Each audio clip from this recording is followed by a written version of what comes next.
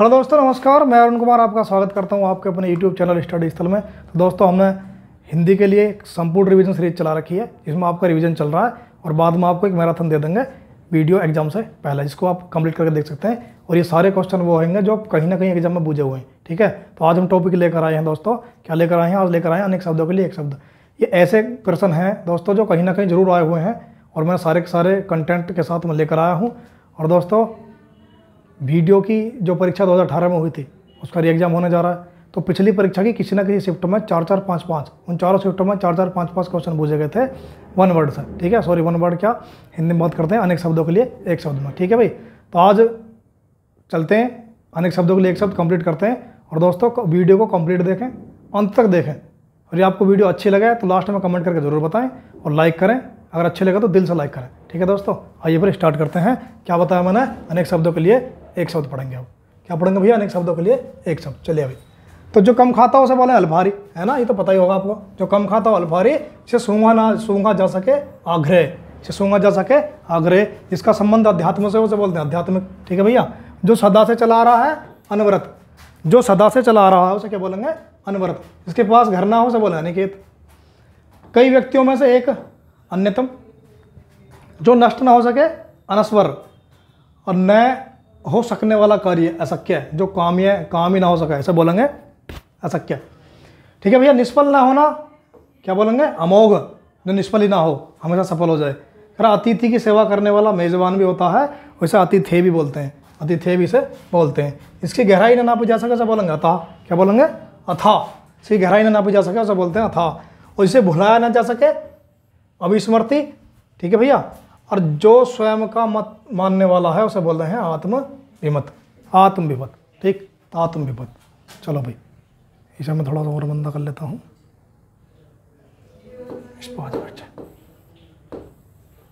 चलो। भाई, देखो भैया, जिस पर मुकदमा चलाया गया हो, उसे क्या बोलेंगे? अभियुक्त, और जिसके पास कुछ ना हो, उसे बोलते हैं अकिंचन। अकिंचन। प्रकृति द्वारा होने वाला दुख, उसे बोलते हैं भैया आधि दैविक। आदि दैविक जो प्राकृतिक दूध दे दिया, बाढ़ आपदा तूफ़ान वगैरह आ गए हैं।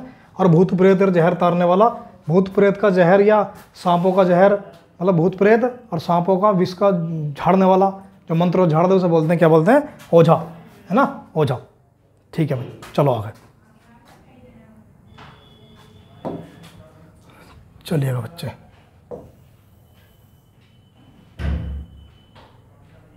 चलो फिर।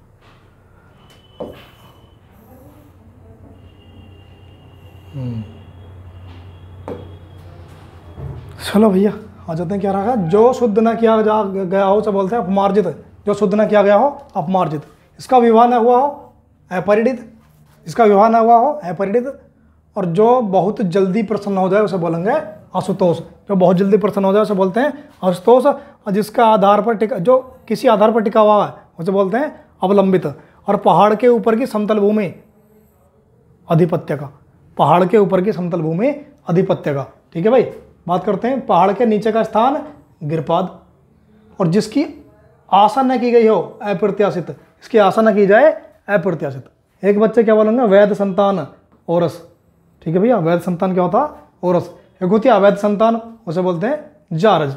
ठीक है? एक होता गोद लिया हुआ पुत्र क्या होता? गोद लिया हुआ पुत्र से बोलते हैं दत्तक पुत्र। ठीक है? दत्तक पुत्र। लिख सकते हो आप।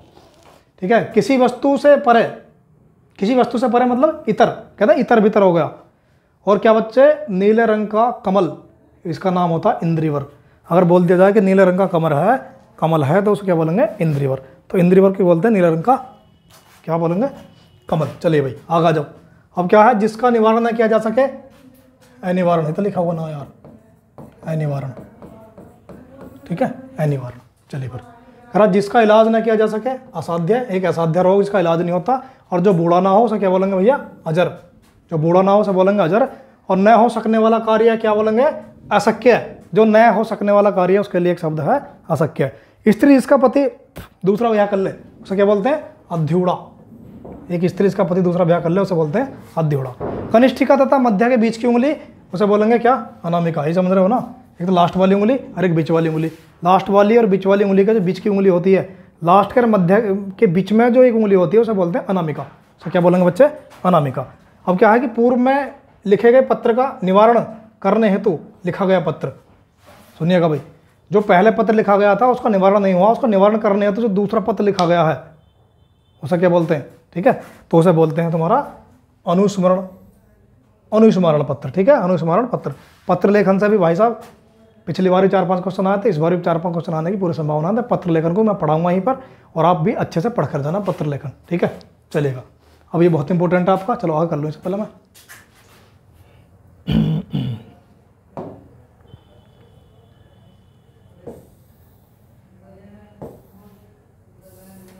हो जा रहे कबूतर, हो जाओ। अच्छा।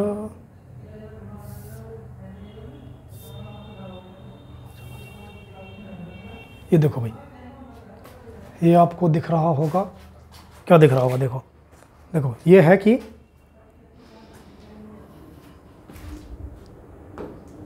हम्म, नीला रंग का ठीक है अभी देखो। अभी देखो ये मैंने बता दिया तुम आपको दिशा ये क्या होता है? ये पूर्व होता ध्यान समझिएगा। ये होता पूर्व ये क्या होता है? ये होता पश्चिम ये होता है पश्चिम। इधर क्या है? ऊपर क्या भाई? उत्तर है। इधर क्या नीचे दक्षिण है। ठीक है अभी बूझा गया है कि उत्तर उत्तर पूर्व के मध्य का कोण क्या बोलते हैं? ईशान कोण। अब समझो बात को। उत्तर और मध्य के पूर्व का कोण क्या बोलेंगे? ईशान कोण। और उत्तर पश्चिम के मध्य कोण क्या बोलते हैं? वायव्य कोण। क्या बोलेंगे? वायव्य कोण। अब पश्चिम, दक्षिण पश्चिम के बीच का कोण जो होता नृत्य कोण। क्या बोलेंगे? नृत्य कोण। और भैया, दक्षिण पूर्व के मध्य कोण होता आग्नेय कोण। दोबारा समझ लो। अच्छे से देख लेना। मैं से बिठा दूँगा अभी। आप स्क्रीन शॉट ले लेना। दोबारा सुनो।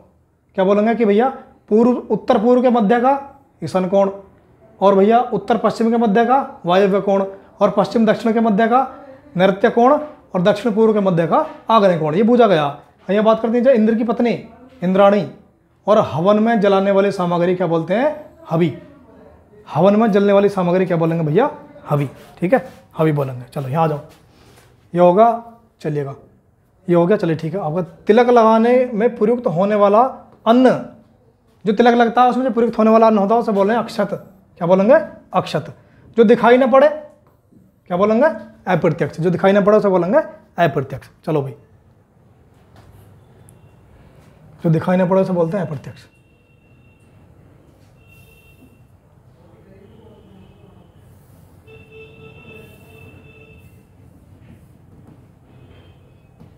चलो भैया, आगे आ जाते हैं। ये मैंने आपको बताया कि हवन में हवन में जलने वाली लकड़ी का नाम है समिधा और हवन में जलने वाली जो सामग्री थी, उसका नाम था हवी। तो छाती के बल चलने वाला उरग। है भैया, छाती के बल चलने वाला उरग। हाथी का बच्चा क्या? कलब। हाथी का बच्चा क्या बोलते हैं? कलब। जैसे बकरी के बच्चे को मैमना ऐसे हाथी के बच्चे को क्या बोलते हैं भैया? कलब। हाथी के बच्चे को बोलते हैं कलब। ठीक है भाई चलो। लेखन अति उत्तम होना, इसके लिए क्या है? मंथर। जो लेखन आपका अति उत्तम हो रहा है, उसके लिए एक शब्द है मंथर। ठीक है? कुसंगति का कारण चरित्र पर दोष लगाना। क्या बोलेंगे? कलंक। आप किसी बुरी संगत में रह रहे हो, आपको चरित्र पर दोष लग गया तो आपके ऊपर कलंक लग गया। तो दो व्यक्तियों की परस्पर होने वाली बातचीत, क्या बोलेंगे सर कथोप कथा सॉरी कथोप कथन क्या बोलेंगे? कथोप कथन और बर्तन बेचने वाला? ये तो पता ही होगा तुम्हें। कसेरा। जो बर्तन बेचता है, उसे बोलते हैं कसेरा। और जो बर्तन बनाता है, उसे बोलते हैं ठटेरा। क्या बोलेंगे? ठटेरा, जो बर्तन बनाता है और जो बर्तन बेचता है, उसे बोलते हैं कसेरा। चलिएगा भाई। किसी वस्तु को देखने की बलवती इच्छा, है ना? क्या बोलेंगे? कौतूहल। किसी वस्तु को देखने की अचानक इतनी इच्छा है कि हमें देखना ही है वो तो उसे बोलेंगे कौतूहल। जो मोल लिया गया है, उसे बोलते हैं कृत, है ना? कृत की हुई चीज़ें, मोल ली हुई चीज़ें। अपना उद्देश्य पूर्ण होने पर संतुष्ट हो गया जो आदमी, उसे बोलते हैं कृतार्थ। क्या बोले बच्चे? कृतार्थ। जो दुख या भय से पीड़ित हो जाए, उसे बोलेंगे कातर। क्या बोलते हैं? कातर। और गाँव देहात में तो कातर से बोलना भैया, कातर कान खुजरा को तो बोलना कातर, पर ये कान ये वाली नहीं है, ये कह रहा कि दुख या भय से पीड़ित हो उसे बोलते हैं कातर। तो अपनी गलती स्वीकार करने वाला कायल, जिसने अपनी गलती स्वीकार कर लिया, भैया, कि माफ़ी मांग रहा हूँ, मेरी गलती हो गई है। तो उसे क्या बोलते हैं? कायल। वृक्षलता फूलों से घिरा हुआ एक सुंदर स्थान। हाँ भाई वृक्षलता और फूलों से घिरा हुआ एक सुंदर स्थान, उसके लिए क्या बोलते हैं? उसके लिए एक शब्द दिया गया आपको, कुंज। क्या बोलेंगे? वृक्ष लता और फूलों से घिरा हुआ एक बहुत अच्छा सुंदर स्थान जहाँ वाटिका बनी हो, उसको एक शब्द लेकर बोलते हैं कुंज। दोबारा सुनिएगा वृक्ष लता और फूलों से बना हुआ एक बहुत अच्छा स्थान जहाँ पर मतलब देखने वाला दृश्य है, उसे बोलते हैं कुंज। ठीक है? चलिएगा भाई। चलो, वृक्षलता, ये हो गया अभी। ठीक है। जिसका स्वाद कसैला हो, उसे बोलते हैं कासाए। जिसका स्वाद कसैला हो, उसे क्या बोलेंगे बच्चे? कासाय जिसका स्वाद कसैला हो, उसे बोलते हैं कासाय कहाँ गए भाई? हाँ ये आ गए।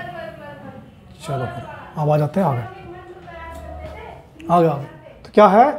भूख मिटाने के लिए बेचैन। जो भूख मिटाने के लिए बेचैन उसे बोलते हैं क्षुदातुर भूख मिटाने के लिए बेचैन क्षुदातुर जो बात पूर्व काल से ही लोगों से सुनकर प्रचलित हो, जो बात पूर्व काल से ही लोगों से सुनकर प्रचलित हो, उसे बोलते हैं किवदंती। क्या बोलेंगे भैया? किवदंती। चलेगा आगे। जिसके पास, जिसके सर पर बाल ना हो खलवाट। जिसके सर पर बाल ना हो, उसे बोलते हैं खलवाट, या गंजा भी बोल देते हैं उसे, ठीक है? खलवाट या गंजा। जो गलत रास्ते पर चल रहा हो, उसे क्या बोलेंगे? गुमराह। कहते ना भाई, रास्ते पर गलत पर चल रहा है आदमी गुमराह हो गया। तो गुमराह क्या, उसे पता नहीं कौन से रास्ते पर जा रहा है तो। तो गलत रास्ते पर चलना क्या कहलाता है? गुमराह। गलत रास्ते पर चलने के लिए एक शब्द है, गुमराह। ठीक है भाई, चलो आगे जाओ। राज जिसकी निंदा ना की, जिसकी निंदा की जाती हो, उसे बोल रहे हैं गर्हित। क्या बोलेंगे बच्चे? गर्हित। इसकी निंदा की गई है, उसे बोलेंगे गर्हित, ठीक है? ग्वालों का निवास स्थान, क्या बोलेंगे? घोष। जो ग्वाले होते हैं, गाय चराने वाले, उनका जो स्थान होता है निवास करने का, उसे बोलते हैं घोष। और मदिरा पीने वाला प्याला? मदरा पीने वाला प्याला, इसमें मदरा पीते हैं, मदरा पान करने वाले लोग, वो जो, क्या बोलते हैं, ड्रिंक वगैरह करते हैं, उनके लिए क्या बोलते हैं, उसको बोलते हैं चषक मदरा पीने वाला प्याला चषक राजाओं के पीछे चल चल कर चलकर गुणगान करने वाला। तो राजाओं के पीछे चलकर गुणगान करने वाले के लिए भैया चारण या भाट बोलते हैं। राजा के पीछे चलकर गुणगान करने वालों को बोलते हैं चारणिया भाट चारणिया भाट। चलिए कभी, आ गए। ऐसा काव्य जिसमें गद्य और पद्य मिश्रित हों, उसे बोलेंगे चंपू। ऐसा काव्य जिसमें गद्य और पद्य दोनों मिश्रित हों, उस काव्य को एक शब्द में बोलेंगे चंपू। क्या बोलेंगे? चंपू। चलो भाई कह रहा, छिप छिप कर रह, लड़ने वाला छापामार। छिप छिप कर लड़ने वाला छापामार। तो छापामार कैसे छिप छिप कर लड़ने वाला, छापामार तो छापामार पद्धति का जन्मदाता कौन है भारत में? इतिहास में आपने पढ़ा होगा, आप कमेंट करके ज़रूर बताएँ। ठीक है भैया? चलिएगा चलने फिरने वाला, क्या बोलेंगे? जंगम। अच्छा ऐसे लिख दिया। क्या बोलेंगे? जंगम। ऐसी चीज़, एक जंगम होती है एक स्थावर होती है। एक जंगम संपत्ति संपत्ति एक स्थावर संपत्ति। जंगम वो है जिसे उठा कर ले जा सकते हो तुम। और स्थावर वो है आप उठाकर नहीं ले जा सकते। ठीक है? समझ गए? तो जंगम और स्थावर संपत्तियाँ। ठीक है भैया? व्यर्थ का प्रपंच। व्यर्थ का प्रपंच, उसे बोलते हैं ढकोसला। बिना ढकोसलेबाजी कर रहा, बिन बात की बातें, है ना? कोई सिर ना पाऊँ तो क्या है वो? ढकोसला। क्या है? अगला बोलेंगे कि जिसमें कोई सार ना हो, उसे बोलते हैं थोथा। इसमें कोई सारे नहीं है, थोथा। क्या ना थोथा चना बाजेगा ना तो सारे नहीं है उसमें। ठीक है भाई? चलिएगा बच्चा, आगे आ जाओ, और आगे आपकी बात करते हैं हम इस चीज़ से। चलो भैया। चलो। यहाँ जाते हैं। करा की करा संकीर्ण विचारों का। क्या बोलेंगे? दाक्य मनुष्य संकीर्ण इसके, संकीर्ण मतलब बहुत वो क्या बोलते हैं? छोटे विचार हों उसे बोलते हैं, दाक्य मनुष्य और जिसके पास रखी हुई वस्तु, कह रहा किसी के पास रखी हुई वस्तु, धरोहर या फिर अमानत। कोई पुरानी वस्तु किसी के पास रखी है तो धरोहर है वो। धरोहर नहीं तो वो क्या है? अमानत है। चलिए फिर आगे आ जाते हैं।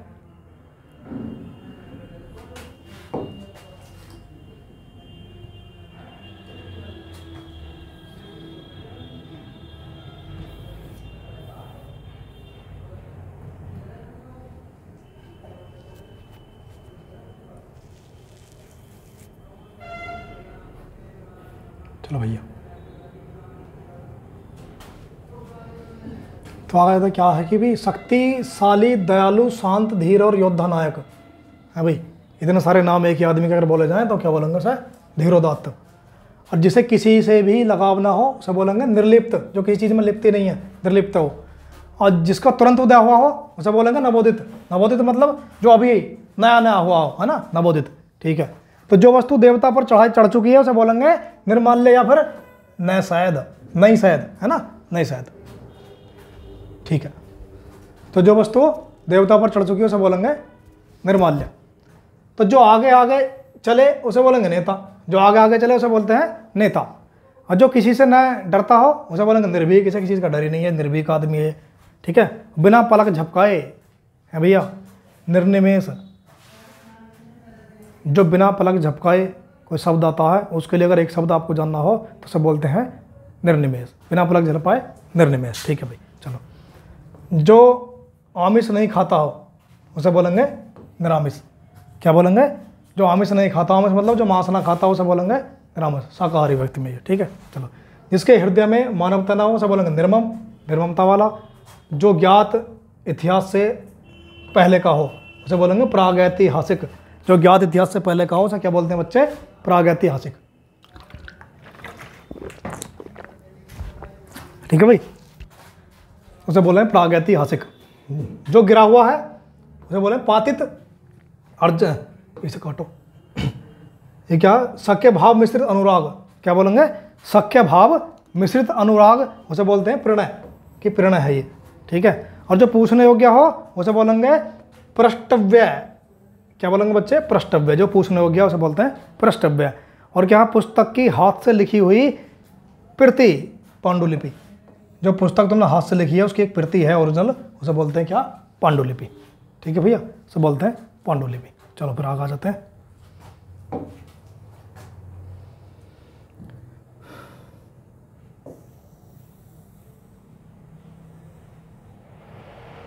लो भाई, यहाँ आ गए। जिसको स्क्रीन शॉट लेना स्क्रीन शॉट ले लो, फिर आगे चलते हैं हम। ठीक है तो क्या आगे किसी प्रतियोगिता में विजय होने वाला विजय होने पर दिया जा, दिया जाता है, उसे बोलते हैं पारितोषिक। जो किसी प्रतियोगिता में विजय हो गया और उसे जो दिया जाने वाला अवार्ड है, उसे बोलते हैं पारितोषिक। ठीक है, उसे बोलते हैं पारितोषिक। भगवान के स्थान सॉरी भगवान के स्नान हेतु बनाया गया पदार्थ। तो भगवान के जो स्नान हेतु बनाया गया पदार्थ है, उसे पंचामृत बोलते हैं। तो भगवान जी का जो स्नान का है, उसमें दूध, दही, है ना, दूध, दही वगैरह होते हैं, पाँच चीज़ें, उसे बोलते हैं पंचामृत। कही गई बात को फिर से कहना पिष्ट प्रेषण। क्या बोलेंगे? पिष्ट प्रेषण। जो कही गई बात है उसको दोबारा दोहराना पिष्ट प्रेषण। जिसका हल जल्दी मालूम ना हो उसे बोलेंगे प्रहलिका। है भैया? जिसका दोबारा सुनिए जिस, जिसका हल जल्दी ना निकले जल्दी मालूम ना हो तो मैं सोचना समझना पड़ेगा ये चीज़ें क्या हो सकती हैं उसे बोलेंगे प्रेलिका तो इसका हल जल्दी मालूम ना हो उसे बोलते हैं प्रहलिका। ये अनेक शब्द के लिए एक शब्द है। अपने बच्चों ने मैं दादी अम्मा से या नानी अम्मा से पहले सुनी होंगी। ठीक है? चलो। क्या प्राप्त करने की इच्छा? पेप्सा। सॉरी प्रेप्सा। और क्या है संध्या एवं रात्रि के बीच का स्थान? क्या बोलेंगे? स्थान नहीं, समय, गोधूली। संध्या और रात्रि के बीच में दिन छिपे और रात के बीच में थोड़ा सा झुकमुका होता है, उसे बोलते हैं गोधूली। और रात्रि का पहला प्रहर, प्रदोष। जो रात का पहला पहर हो गया, उसे बोलते हैं प्रदोष। आधी रात का समय, निशीथ। क्या बोल रहे हैं बच्चे? आधी रात का समय उसे बोलेंगे निशीध और पाँव से आहार लेने वाला, है भाई? पाँव से आहार लेने वाले को बोलते हैं पादप। है भाई? पादप। जो पाँव से आहार लेता है, उसे बोलेंगे पादप चलिएगा। परिणाम का मोह रखने वाला, क्या बोलेंगे? फलासक्त जो फल की इच्छा रखता हो, क्या हमें परिणाम कैसा मिलेगा? परीक्षा में आप जैसे देखो, वीडियो की परीक्षा आ रही है, या जो भी आपकी परीक्षा आ रही होगी, इसमें आप हिंदी आएगी, उसमें आप परीक्षा करके आएँगे तो आपको परिणाम का रहेगा कि हम, तुम क्या कहलाओगे? फलासक्त आपको इंतज़ार रहेगा, परिणाम कब आए? तो उसे आप कहोगे खुद को कहोगे फलासक्त ठीक है भाई? फलासक्त क्या बोलेंगे आगे? जिसने बहुत सुन रखा हो, बहुश्रुत, है ना? बहुश्रुत। गुड़ से बनी खीर गुड़ से बनी खीर बखीर। गुड़ से बनी खीर को बोलते हैं बखीर। विचित्र आकाश प्रकाश का, विचित्र आकार प्रकार का। कह रहे हैं, बेडोल। इसका कोई आकार प्रकार नहीं है, बेडोल आदमी है भैया। ये है बेडोल आदमी। और सागर में लगने वाली आग बड़वानल। सागर में लगने वाली आग क्या है? समुद्र में लगने वाली आग का नाम बच्चा क्या है? बड़वानल। उसका नाम है बड़वानल। चलो फिर, ये हो गया आपका। इसे हम फिर वही गड़बड़ाई है समाज। है ना?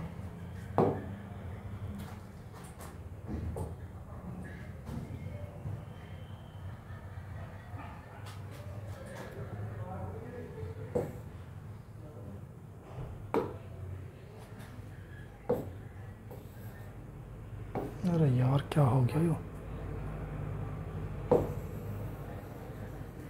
एक मिनट भाई, एक मिनट रुको। रोज वही कंडीशन है, रोज यही कंडीशन फिर वही। हाँ ठीक है। चलो फिर, आगे आ जाओ। अब क्या बोलेंगे हम? हाँ यही तो था। कहाँ थे भाई? पाँव हाँ ठीक है, हो गया ये। चलो, अगली बात जाते हैं। और अगली स्लाइड आपकी लेते हैं, ये वाली। चलो, ये हो गई। पेट में लगने वाली आग, क्या बोलेंगे? दावानल सागर में लगने वाली आग बड़वानल और पेट में लगने वाला आग क्या है? दावानल चलो फिर।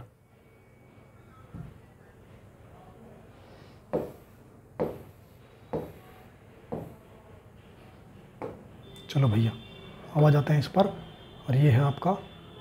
चलो बेटा, आ जाओ। क्या बोलेंगे? कि जिसके हृदय को चोट पहुँची है, उसे बोलेंगे मरमाहत। जिसके हृदय को चोट पहुँची है, उसे बोलते हैं मरमाहत। इसके हृदय को चोट पहुँची है, उसे बोलेंगे मरमाहत और जो स्थान पर टिक कर न रहता हो, उसे बोलेंगे, यायावर, जो भगंतु आदमी है, कभी यहाँ, कभी वहाँ, है ना? उत्तराधिकार में प्राप्त संपत्ति, उसे बोलेंगे, तिक्त या विरासत। उसे क्या बोलेंगे? तिक्त या विरासत। विरासत जानते हो ना? तो तिक्त या विरासत। जो उत्तराधिकार में मिली हुई संपत्ति, जो हमें बड़े बूढ़े देकर गए हैं। अब मुझे बताओ, भारत का विरासत पशु क्या है? तो दोस्तों, आप बात को बताना कि भारत का विरासत पशु क्या है? कमेंट करके ज़रूर बताएँ। चलिए भाई।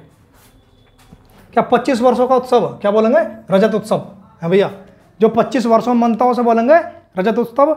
और भैया, जो 50 वर्ष पूरे होने पर मनाया जाता उत्सव है, उसे बोलते हैं स्वर्ण जयंती। क्या बोलेंगे? स्वर्ण जयंती।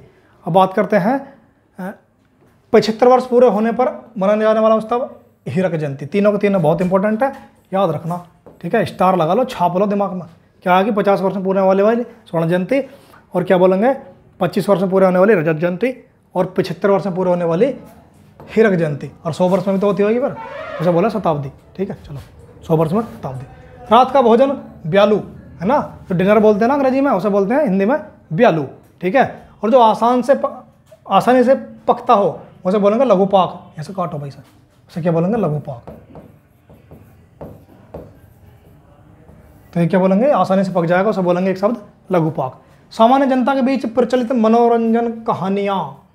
लोक कथाएँ जो सामान्य जनता के बीच शाम के टाइम पे जो पुराने लोग गाँव देहात में बैठ जाते थे एक साथ बैठ करके जो एक मनोरंजन वाली बात करते थे, उसे क्या बोलते हैं? लोक लोक कथाएँ। चलिएगा भाई। तो बच्चे के जन्म के समय लगा, गाया जाने वाला लोकगीत क्या बोलेंगे? सोहर। बच्चे के जो जन्म होता है, उसके समय पर जो लोकगीत गाया जाता है, उसके लिए क्या बोलेंगे? एक शब्द है, क्या बोलेंगे उसे भैया? सोहर। बहुत ही कठोर, बड़ा आघात, वज्राघात, है ना? तो बहुत बड़ा कठोर आघात है, उसे बोलते हैं वज्राघात। जिसकी नज़र सीधी न हो, उसे बोलेंगे वक्र दृष्टि भैया वक्र दृष्टि जिसकी नज़र सीधी ना हो, उसे बोलेंगे वक्र दृष्टि जिसमें वस्तु की ही प्रधानता हो। जिसमें वस्तु की ही प्रधानता हो, उसे बोलते हैं वस्तुनिष्ठ। है ना भैया? वस्तुनिष्ठ। वस्तुनिष्ठ पुस्तक भी आती हैं तो देख सकते हो आप। बिल्कुल प्रतिकूल होने वाला भाव। वैपरीत्य। बिल्कुल प्रतिकूल होने वाला भाव क्या बोलेंगे बच्चे? वैपरीत्य। चलिएगा भाई आगे आ जाते हैं। और अगली बात करेंगे हम इस वाले चैनल से। चल बेटा, आगे आ जा।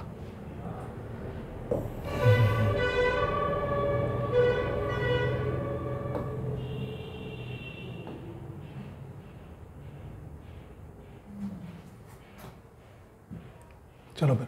कह किसी विषय का, किसी विषय का, किसी विषय का खंड खंड अध्ययन, क्या बोलेंगे, विश्लेषण। किसी विषय का जो बहुत तगड़ा अध्ययन आपने कर रखा हो खंड खंड का अध्ययन उसे बोलेंगे विश्लेषण। जो बहुत अधिक थका हो, उसे बोलेंगे विश्रांत। से विश्राम करने की ज़रूरत है ना? जो थक जाता है, उसे क्या होता है? विश्राम करता है, जैसे बोलते हैं, विश्रांत। चलिए भाई। करा कानून के का रूप देने के लिए प्रस्तुत किया गया प्रस्ताव। उसे बोलते हैं भैया, विधेयक। कानून के लिए जो प्रस्ताव रखा जाता है, उसे बोलते हैं विधेयक। कानून बनाने के लिए प्रस्तुत किया गया प्रस्ताव, उसे बोलते हैं विधेयक। और वर देने वाला, वरद। जो वरदान देता है, उसे बोलते हैं वरद। और वाणी का विकार। क्या बोलेंगे? वाम्य, है ना? वाणी का विकार क्या है? वाम्य। जैसे वाणी का विकार वाम्य है, ऐसे ही एक पठन विकार होता है। ठीक है? एक होता है गणित पढ़ने में विकार, है ना? गणित संबंधी विकार। तो गणित संबंधी विकार को बोलते हैं डिस्कैलकुलिया और ऐसे ही आप पठन संबंधी विकार कमेंट करके बताएँगे। ठीक है? चलिएगा भाई। जिसके हाथ में वीणा हो, उसे बोले वीणा पाणी है ना? ये दोबारा लग गया सॉरी वीणा पाणी ठीक है? सीता की माँ या फिर सुंदर आँखों वाली, क्या बोलेंगे? सुनैना। तो सीता माता के नाम का भी, माँ का भी नाम सुनाना था जो सुंदर आँखों वाली होती है, उसका नाम भी सुनाना होता है। दीन दुखियों तथा रोगियों की सेवा करना क्या बोलते हैं? सुश्रुता दीन दुखी और जो रोगी हैं, उनकी सेवा करना सुश्रुता और बाएँ हाथ से कार्य करने वाला, क्या बोलेंगे भैया? सव्य साची बाएँ हाथ जानते हो ना? उल्टे हाथ से काम करने वाला सव्य साची देख लेना कि जो आपके उसमें हो, दोस्त में, उसे बोलना सव्य चाची सव्य साची तो गुणों से चला आने वाला गुणों नहीं, युगों से। युगों से चला आने वाला, क्या बोलते हैं, सनातन। तो जो युगों से चला रहा है, उसे बोलेंगे सनातन, ठीक है? किसी भी स्तुति करना, किसी की स्तुति करना, उसे बोलते हैं स्तवन। किसी की स्तुति करना, स्तवन। और जहाँ विभिन्न ऋतुओं की संध्या, संधि हो, उसे बोलते हैं संक्रांति, है ना? जब जहाँ एक से अधिक ऋतु मिल जाए, उसे बोलते हैं संक्रांति, जैसे मकर संक्रांति होती है ना? ठीक है भाई। स्वेद से उत्पन्न होने वाला, क्या बोलेंगे? स्वेदन। स्वेद क्या होगा भाई? स्वेद होता पसीना। तो पसीना से उत्पन्न होने वाला, उसे बोलते हैं स्वेदन। पसीना से उत्पन्न होने वाला स्वेदन। चलो फिर।